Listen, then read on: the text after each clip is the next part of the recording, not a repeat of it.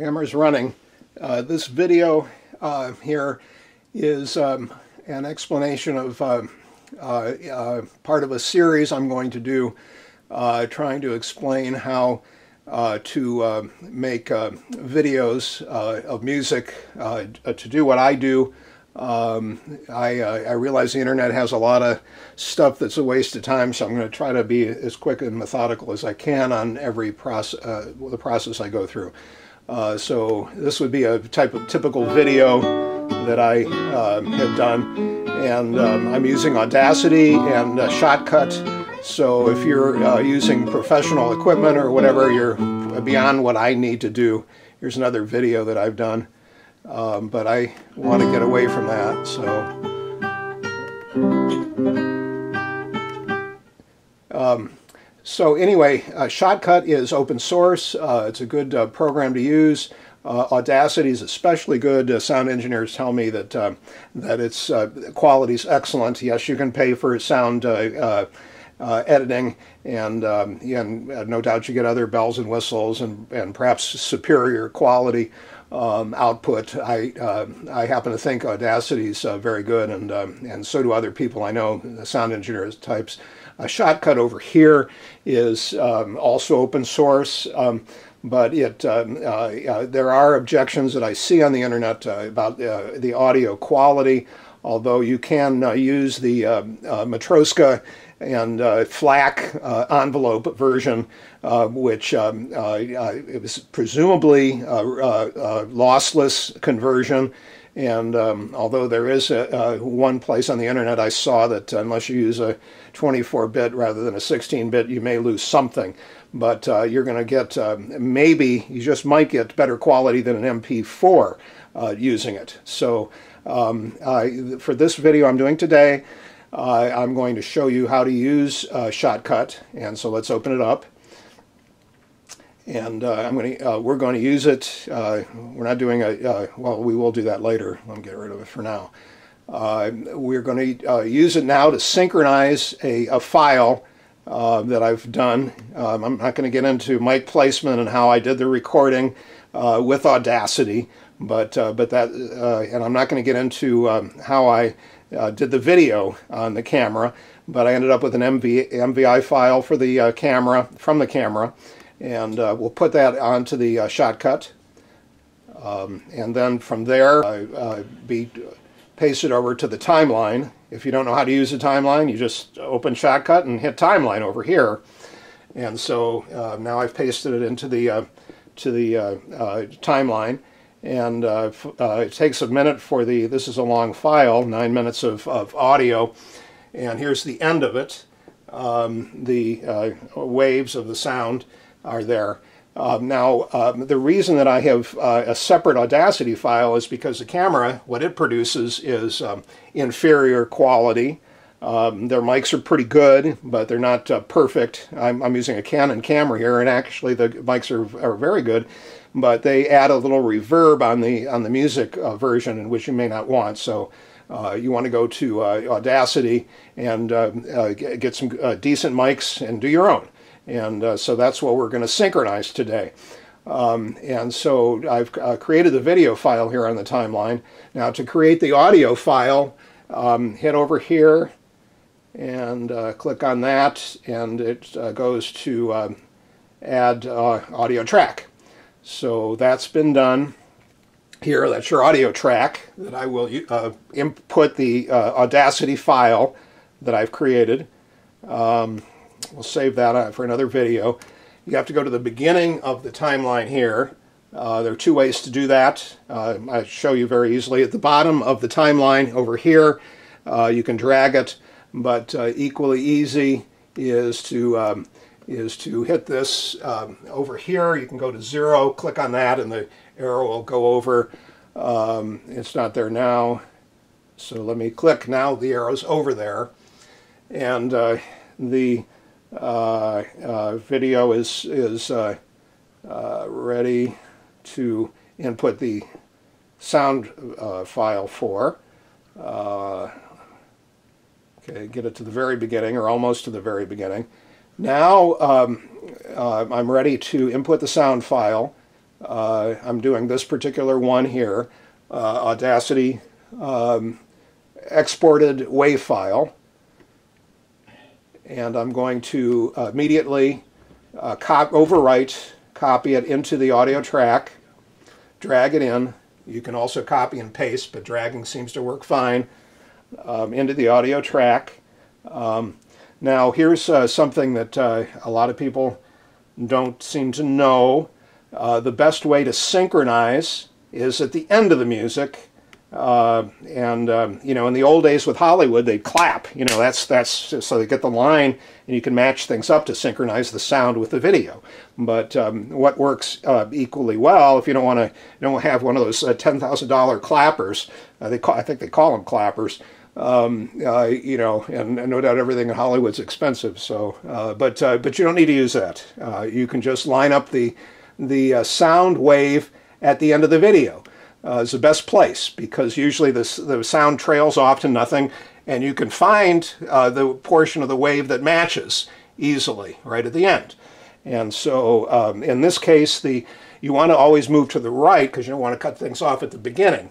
So here you are at the end, and uh, so the, the sound wave ends on the video track um, uh, first, it ends first, which, is be, uh, which means that I began the recording uh, uh, first.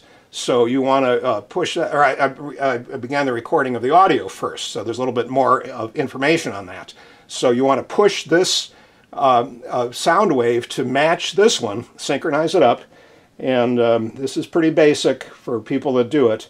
But, uh, but you know, doing it at the end is not hard. Now you notice I, I pointed and dragged. All right, why did it move like that? It moved like that because this um, counter here was not set to the right spot. So you've got to learn a little bit how to manipulate um, the information on the timeline. So you go down to the lower left here and you can move the, the um, whole thing over a little bit by the arrow.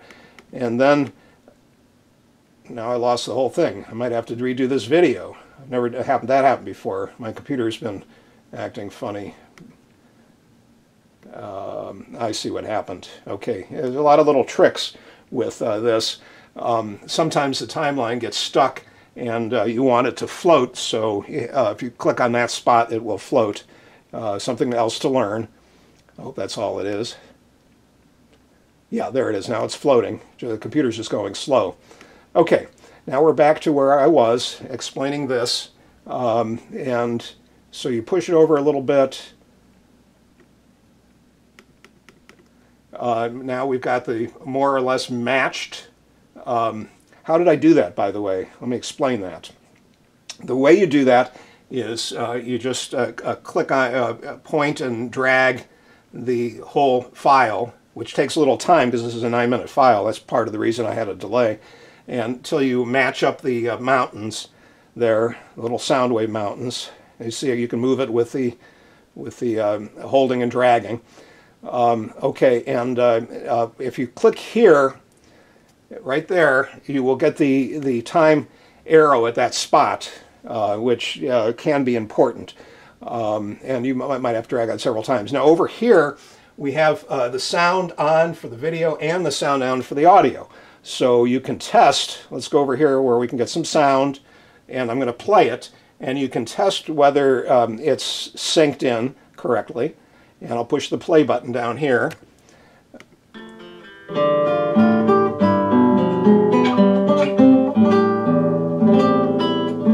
Doesn't seem too bad. Um, Okay, if you have a reverb sound, that means you have a little echo. You're slightly off with the sync. These sound waves are not the same. The Canon uh, uh, microphone produced different sound waves than um, uh, the external microphones that I, I used here. Uh, a little bit better quality. Uh, now, if you want to uh, expand this, it helps to match up the, the um, sound waves in case you have trouble.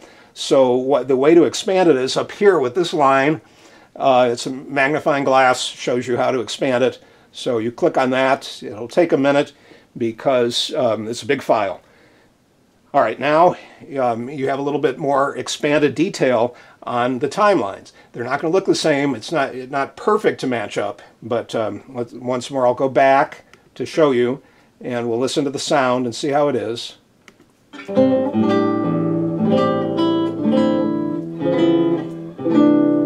It's the end of the music. Um, the um, sound, uh, not too much reverb, tiniest amount. You can't be absolutely perfect, but the final check would be to see if the fingers on the video match what you're doing. So uh, one thing to, uh, in looking at that, put it on pause, um, in looking at that, I um, look, look at it two ways. Uh, first, um, you want to take the sound off of the video portion and just have the microphone sound. So that you click on that, and now that soundtrack is gone. Now you can uh, uh, click over here so you get a little bit of the music and move this thing over. And now we can watch the uh, video. Um, or, well, we want to watch the fingers over here and uh, see how it matches.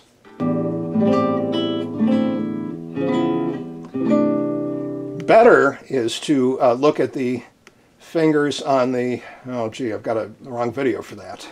Let's see if I can find fingers. Yeah, the thumb uh, right there will uh, demonstrate. Uh, you can, here, let me get this thing over a little ways.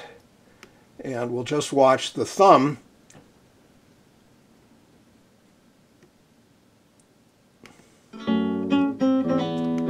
right there. Uh, watch the thumb see if it matches the uh, sound. Sometimes it anticipates a little bit, and a little delay looks good. Uh, so you don't have to necessarily be perfect that way.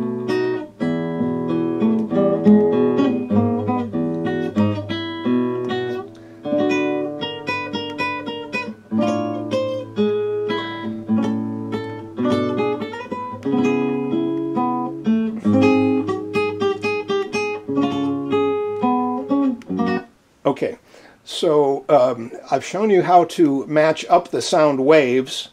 Um, you'll notice when you silence the video one, the sound wave disappears there. And uh, let me show you, dem demonstrate, I'll bring back for a second. And uh, mountains are nicely lined, up. I call the mountains, you know, there's sound waves, uh, what they display uh, of the acoustics.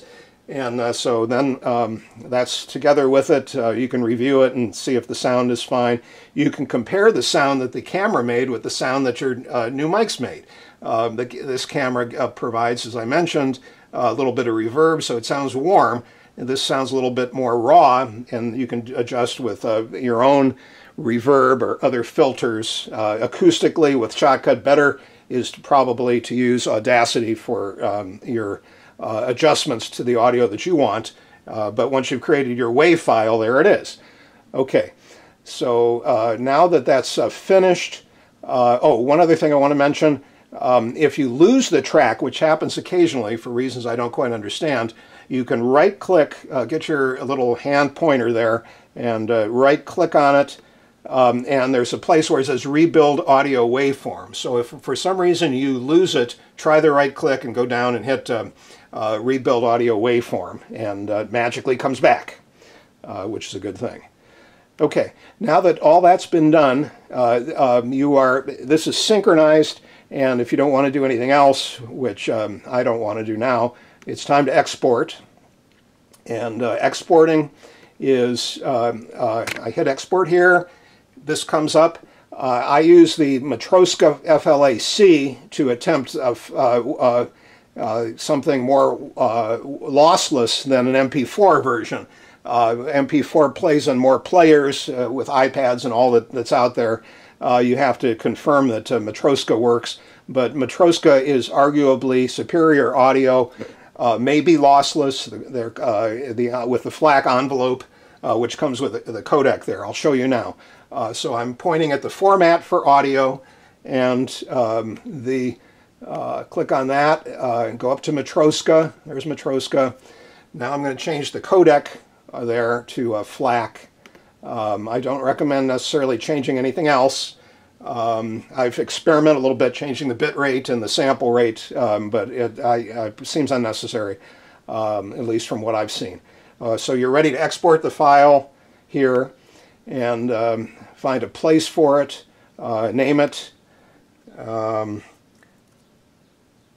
you must name it MKV in the case of uh, Matroska and uh, save that. Uh, the job is beginning um, for the export of the synchronized um, file that you've created on Shotcut um, as a Matroska lossless version with your uh, audio, um, uh, which presumably has better quality, uh, inserted. Uh, I've got to stop it. Why?